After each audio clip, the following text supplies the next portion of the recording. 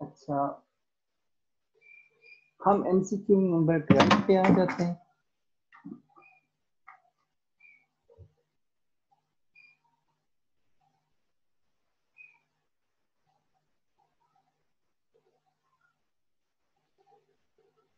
Find the mass of the uneven rod shown in figure. अब उसने जो rod सा बनाया हुआ है, पता नहीं मैं ड्रॉ कर भी पाऊँगा या नहीं, लेकिन कुछ। इस शेप में वो रॉड है। और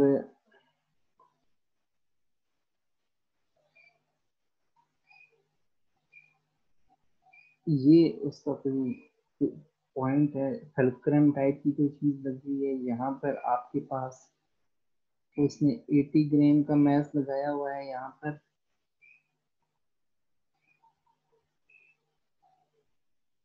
यहाँ से जो उसका सेंटर ऑफ़ मैस है, वो यहाँ पर है। और अच्छा।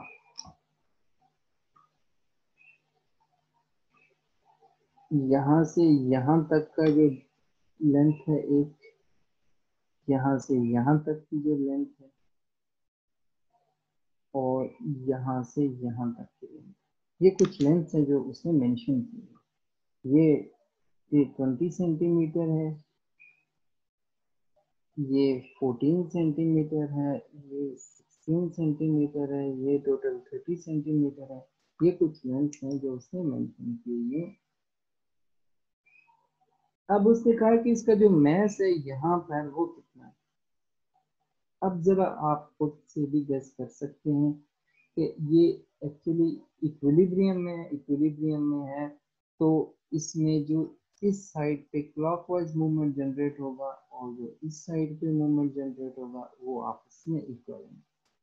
तो हम कहेंगे clockwise movement and anti clockwise movements आपस में इक्वल तो जरा देखें, इधर से ये 20 सेंटीमीटर के ऊपर है, इधर से ये 16 सेंटीमीटर के ऊपर है। तो मैं इसको जरा इस तरह से कर लेता हूँ कि clockwise movement and anti clockwise movements are equal तो क्लॉकवाइज मूवमेंट जो आ रहा है, उसमें आपको पता है फोर्स इनटू परपेंडिकुलर डिस्टेंस इधर से भी जो फोर्स है और उसके साथ जो परपेंडिकुलर डिस्टेंस है। फोर्स में M one G one into D one हो जाएगा। इसमें M two G two D two अब जी वन और जी टू तो आपस में इक्वल है ना, इसका तो कोई फ़र्क नहीं पड़ेगा। जी की वैल्यू सेम है। तो एम वन इस साइड पे में एटी ग्राम है, एक साइड पे, और साथ में उसका जो डिस्टेंस है वो ट्वेंटी है। इधर जो मैस है वो हमें मालूम नहीं है, लेकिन डी टू जो है वो थर्टीन है। सिक्सटीन है। अब जरा देखें। ये ये बनता है sixteen hundred which is equal to M two into sixteen sixteen उधर चला जाएगा तो ये आ जाएगा sixteen hundred divided by sixteen which is equal to M two और ये आ जाएगा M two is equal to hundred grams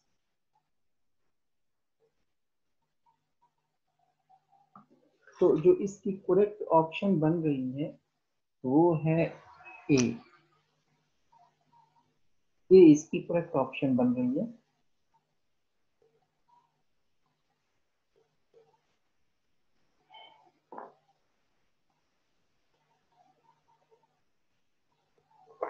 अब एमसीक्यू नंबर थर्टीन के ऊपर आ जाए। उसमें उसने कहा कि आपके पास जो है वो तीन चार रॉड्स उसने बता दिए हैं। जैसे फॉर एग्जांपल आपके पास जो ऑप्शन ए है, उसमें इस तरह से, मैं तीनों चार रॉड थोड़े थोड़े करके ड्रॉ कर देता हूँ ऐसे।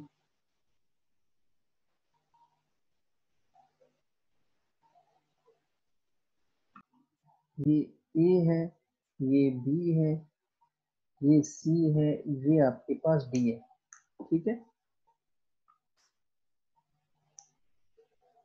अब इसमें एक फोर्स यहाँ से ऊपर लग रही है और एक इसके सेंटर में से। वो सारी दोनों फोर्सेस आपस में इक्वल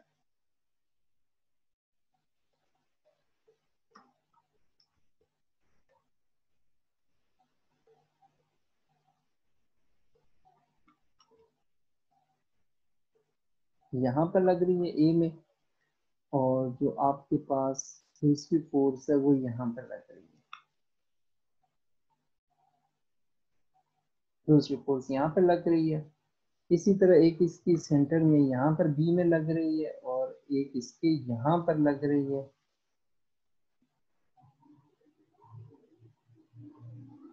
अच्छा इसमें एक फोर्स आपको यहाँ पर लग रही है और एक फोर्स आपको यहाँ पर लग रही है। इसी तरह से डी में आपके पास एक फोर्स यहाँ पर लग रही है और एक फोर्स आपको यहाँ पर लग रही है। तो ये चार फोर्सेस हैं आपके पास।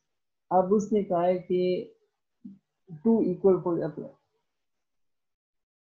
which diagram shows the rod is in equilibrium अब इनमें से किसका पता चलेगा कि ये इक्विलिब्रियम है? अब जरा हम वन बाय वन इनको देखते हैं। इसकी वजह से इधर मुड़ के टॉर्क जनरेट होगा, इसकी वजह से इस तरह से। तो ये कपल जनरेट कर देगा यहाँ पर।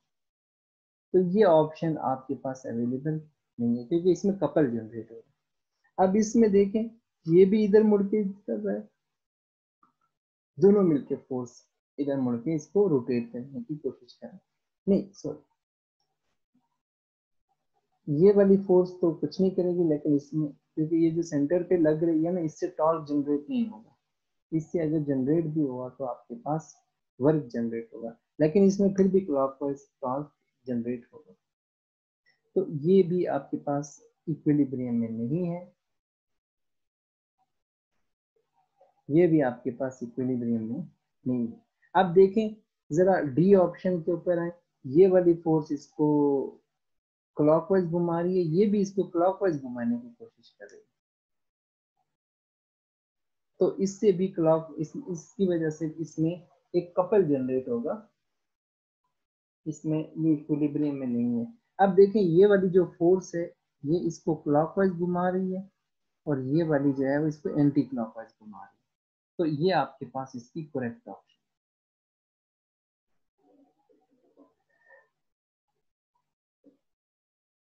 तो इसका आंसर क्या हुआ? इसका आंसर है सी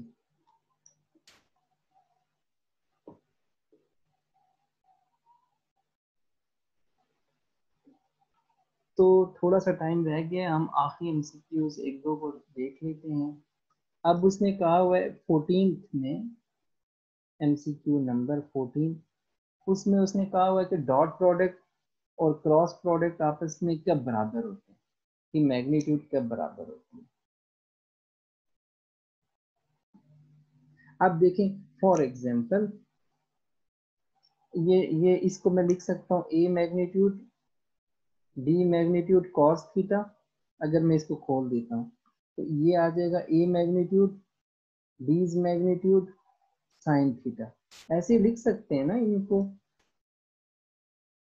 अब देखें, ये ये कॉस थीटा को उधर ले जाएँ, इसको मैं इधर ले आता हूँ। तो ये आ जाएगा एज मैग्नीट्यूड या ऐसे कर लें, ये आपस में कट जाएँगे। कॉस थीटा को उधर ले जाएँ तो इधर पीछे वन बच जाएगा।